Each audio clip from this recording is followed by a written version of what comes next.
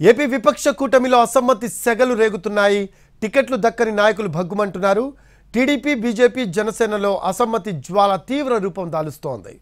అనంతపురం ఏలూరు శ్రీకాకుళం విశాఖ నెల్లూరు జిల్లాల్లో ఆందోళనలు కొనసాగుతున్నాయి.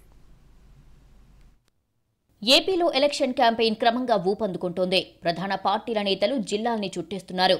విపక్ష కూటమిలో ఇంకా అసమ్మతి సెగలు రేగుతూనే ఉన్నాయి. పలు జిల్లాల్లో సీట్లు దక్కని నాయకులు ఆందోళనకు దిగారు. అనంతపురం అర్బన్ టీడీపీలో అసమ్మతి జ్వాల రాజుకుంటోంది. టీడీపీ నేత ప్రభాకర్ చౌదరికి టికెట్ రాకపోవడంతో ఆయన వర్గీయులు ఆందోళన కొనసాగిస్తున్నారు.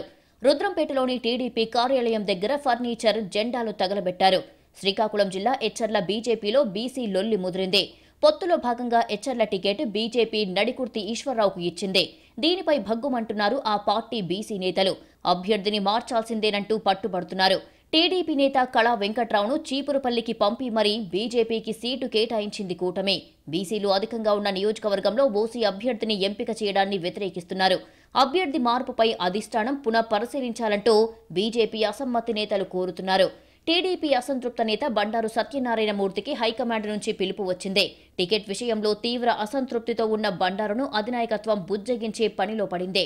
పెందుర్తి టికెట్ను బండారు ఆశించగా అది కాస్త జనసేన ఖాతాలోకి వెళ్ళింది పంచకర్ల రమేష్కు ఈ టికెట్ దక్కింది.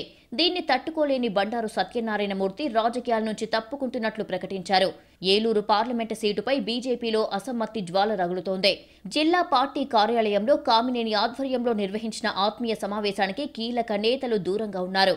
బీజేపీ రాష్ట్ర ప్రధాన కార్యదర్శి గారపాటి చౌదరితో పాటు మరికొందరు నేతలు మీటింగ్కు హాజరు కాలేదు. ఏలూరు ఎంపీ సీటు టీడీపీకి కేటాయించడంపై బీజేపీ నాయకులు వ్యతిరేకిస్తున్నారు. గారపాటి చౌదరికి టికెట్ ఇవ్వాలని డిమాండ్ చేస్తున్నారు. లేదంటే ఇండిపెండెంట్గా బరిలోకి దిగాలంటూ అనుచరుల నుంచి ఒత్తిడి పెరగడంతో రెండు మూడు రోజుల్లో దీనిపై ప్రకటన చేయనున్నారు గారపాటి చౌదరి. పలు జిల్లాల్లో కూటమిలో అసంతృప్తి సెగలు రేగుతూనే ఉన్నాయి. టికెట్ ఆశించి భంగపడిన నాయకుల్ని బుజ్జగించే పనిలో పడింది కూటమి.